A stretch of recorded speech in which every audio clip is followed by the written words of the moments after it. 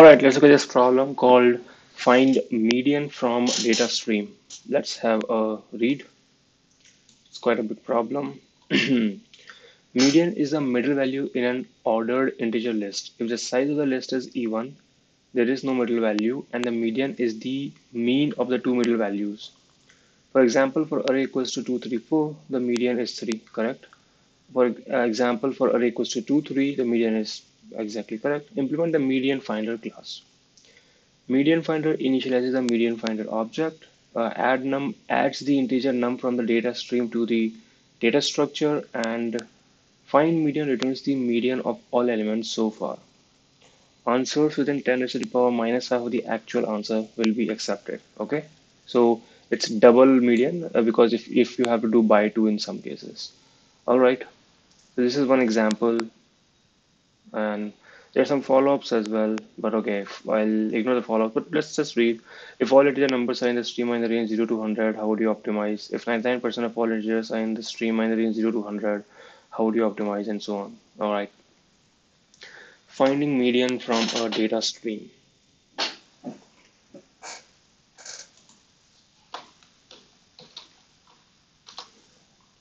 Let's think what uh, we would do.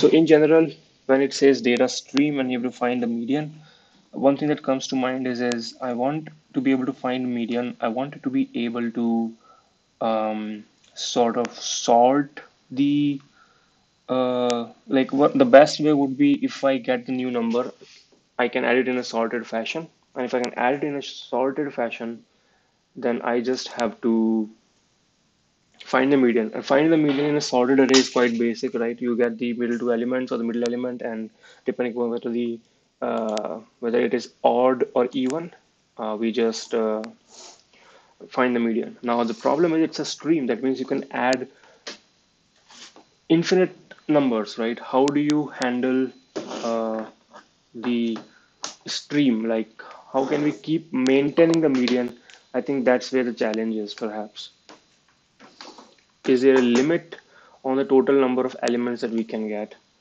Um, maybe that is something that we need to figure out. Does it say anything in the constraints? This is what it says in the constraints. At most 5 times 10 to the power 4 calls will be made to add num and find median right? So this is the maximum number of calls that you will get. So this is the maximum number of elements essentially that you would get. Now would you save all of these elements is my question.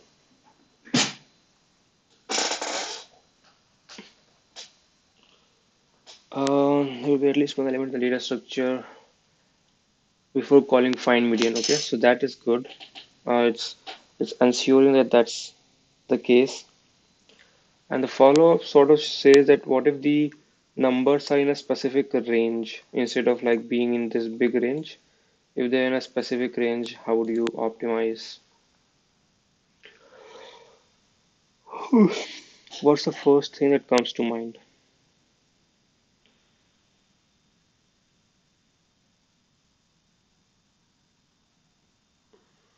Well the first thing that comes to my mind is that I only need the middle element right?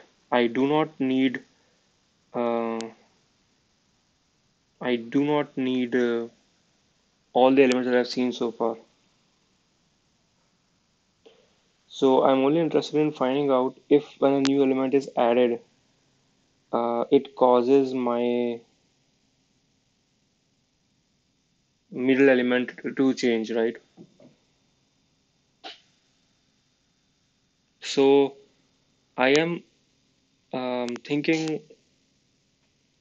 even if you save all the elements like how do you keep uh, adjusting sort of your array to keep it sorted? Like even if you do like a BST and you save it in a sorted fashion then still you have to find the middle right?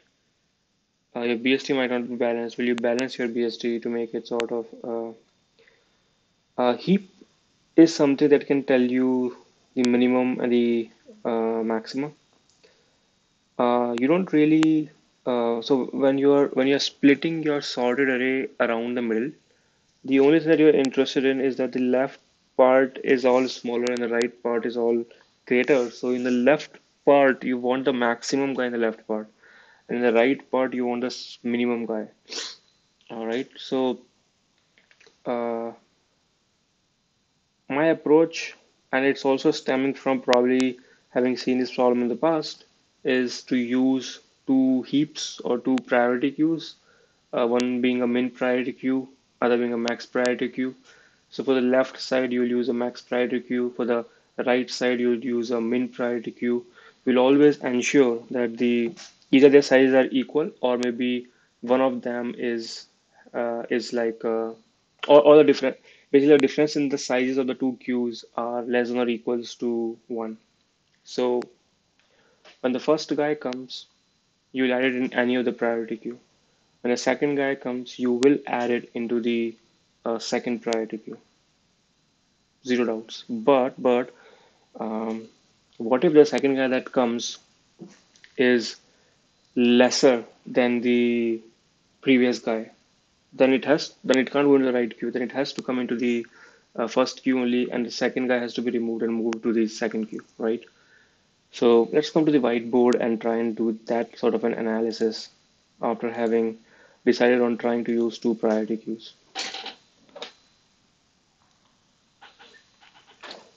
So what we're saying now is, hold on, uh, yeah, so what we're saying is we will use uh, two priority queues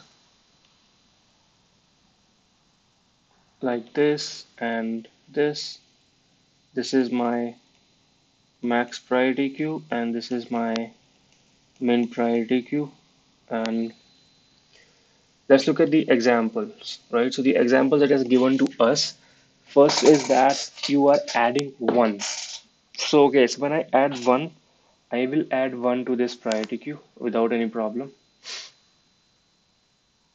So i add one to this priority queue.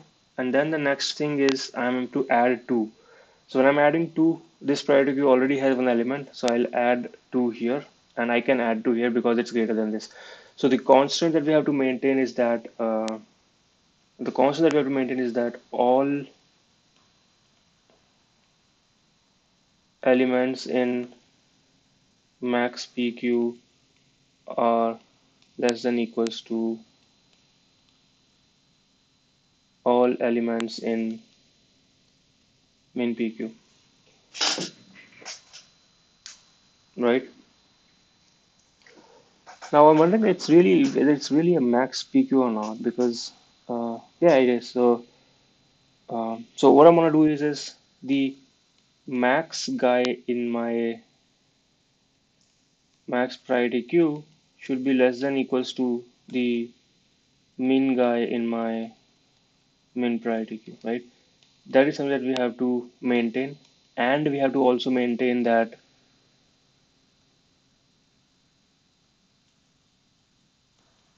length of uh, min pq minus length of max pq it should be like absolute of them. Difference should be less than equals to one. Like either they are equal or they are differ by one if you can maintain these two, then we'll always have the middle element from the top of these two priority queues, right? And based upon their sizes. So let's look at this uh, further example. So one, two is clear. After that, if you were to find the median, the both the priority queues length are equal. That means you take the top elements from both of them and you just get the uh, like you just get the average of them. Then there's another element which is added, which is 3. Now, when the element is added, what do you check? You probably check, hey, is this element greater than the uh, this guy or is it lesser than this guy? One of those two is something that you, you're going to check, right? If it is greater than this guy, then it's clearly going to be added into this priority queue, right? So you will add 3 here. And now Yes, now these two differ by uh, down this guy is one length more. So now when you look for median, you'll just return the top guy from here. That will be the median. So that seems to work for me. Let's try and build an algorithm based on based on this approach. So we come to code. So we're saying we'll maintain two priority queues in the median finder constructor. Uh, so we will say in the class we'll have two priority queues. Uh, so priority queue of integer. I'll call it. I'll just call it left priority queue and right priority queue, right? So I'll just I'll just call it left queue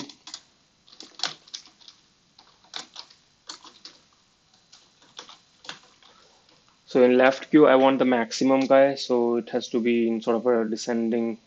Uh, so here I will give, uh, if I give a comma b, I'll give uh, like b minus a, right? And let's get the right queue as well.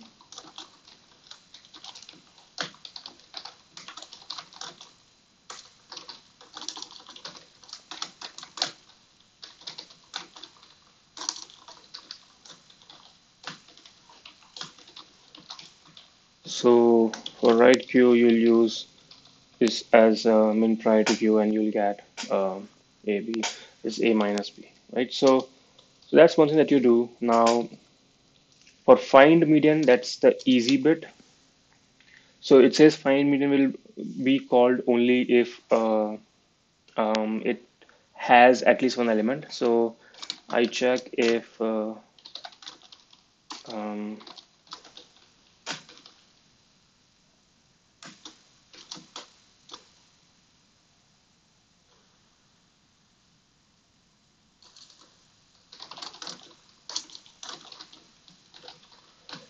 if their sizes are equal then you will do uh, return. Now you here you have to do so you go to double um, left queue dot peek. And you do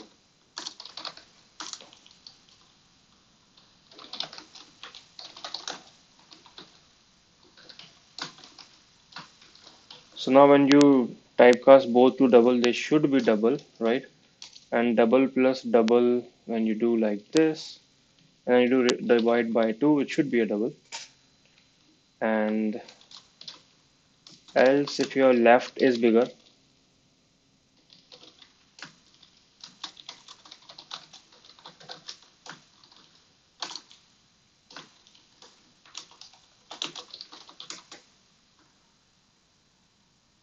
going to just to return uh, some issue here I think. Yeah this is better. So then you're going to return. And else you're going to return. Peek so this is fine median. Now add num median finder. I mean, you could have put these in the median finder, but uh, this is also fine. Add num is where I'm gonna have to do some, I'm gonna have some problems. So one is if both are empty, right? Then you just add it into the left queue. So if uh,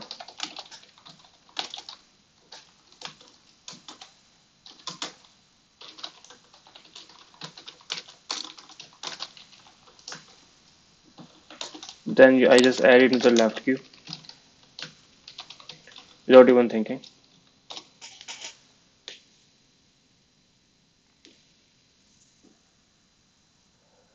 Now there could be a case where one queue is empty there are two more, three more cases, which is uh, left queue is empty and right queue is not empty, and and so on and so forth, right? Uh,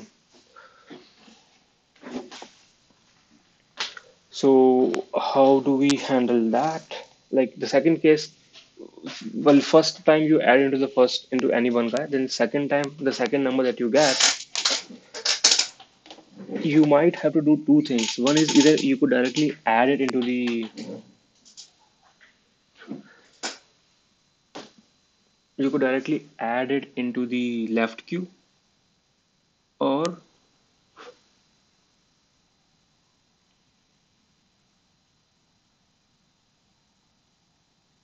or you uh, I'm able to think of the issues. There are different issues, it seems to me. Uh, so one, one of the case obviously is is if uh,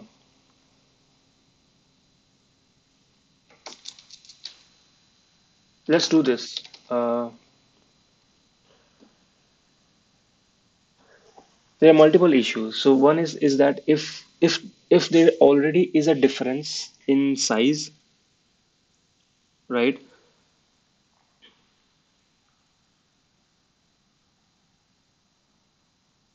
Maybe you adjust later. Maybe first you add where it should belong, meaning that if it is um, Yeah, I think you just add to whichever queue it belongs, right? If it is lesser than the uh, left guy's maximum, then it will go into the left. It is greater than the right guy's uh, minimum, then it will go into the right guy. And if you're after adding, if your queue size becomes bigger, then you will ad adjust, which is completely fine. Um, I'm thinking about the case where you do not have something to check with, meaning that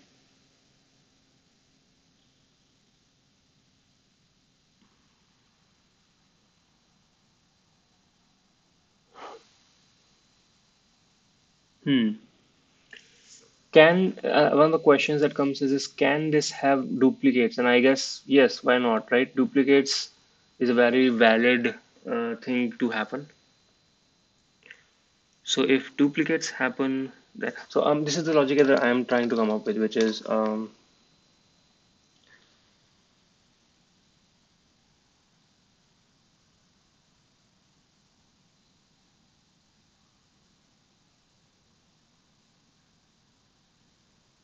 I'm not removing elements, and given that I'm not removing elements, my left should never be empty.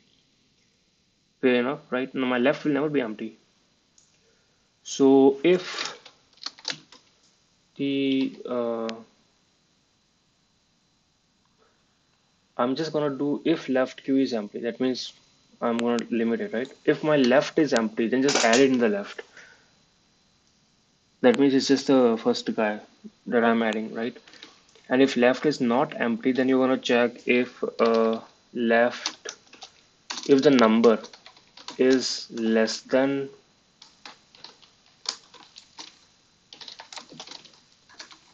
uh, left queue dot peek. If that seems to be the case, if the number is smaller than that, then you add it in the left queue. Else you add it in the right queue.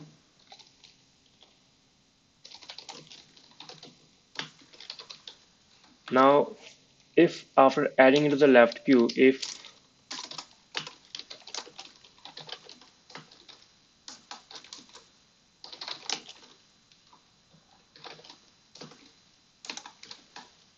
if its size increases by two, right, uh, then there's a problem. Then you have to adjust. Then you do uh, right q dot add left q dot pull, right? As simple as that.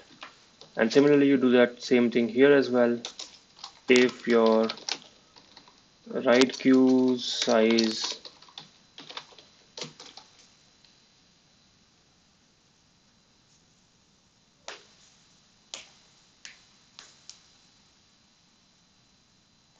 One question that I have is can I always add into the left queue without even checking? Like, why not just add into the left queue?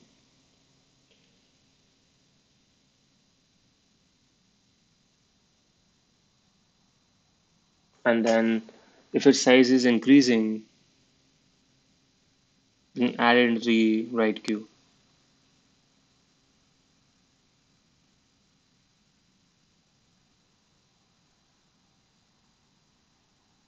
I mean, yeah, that is also um, that's also fine.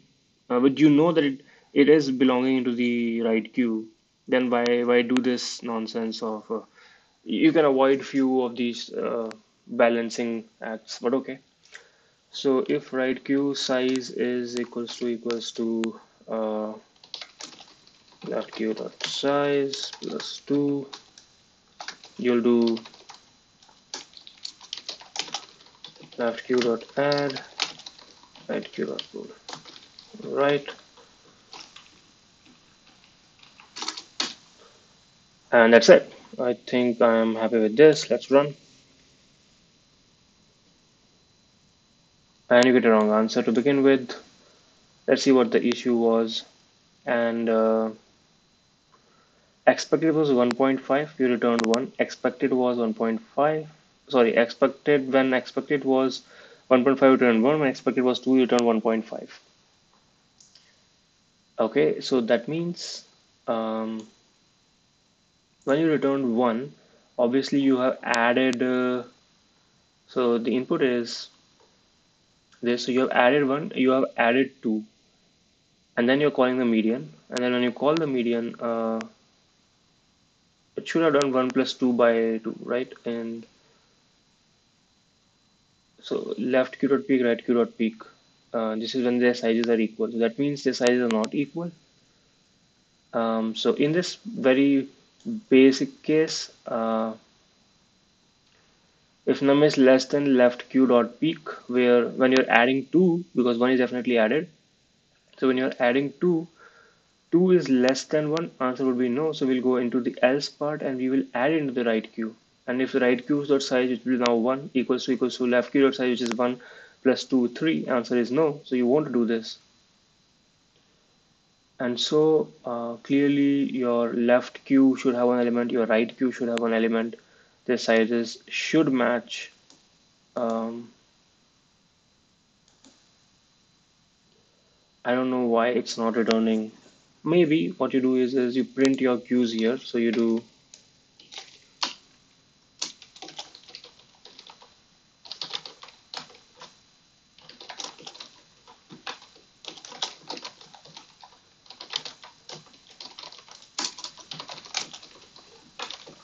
Alright, so you print out your left queues and right queues and we'll see what happens after that. So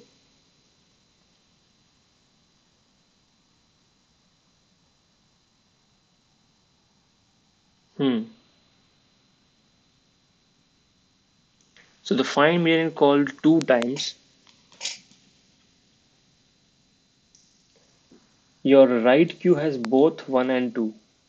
When did you insert uh, 1 into your right queue? And then, so there is 1, there is 1, 2, and then when 3 was added,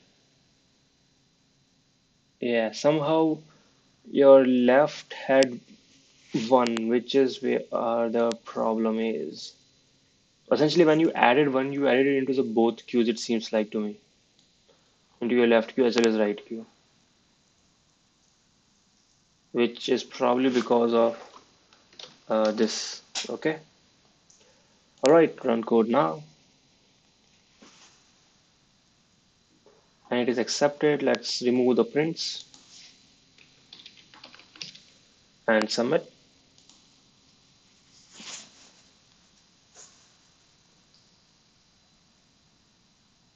And it is accepted. All right.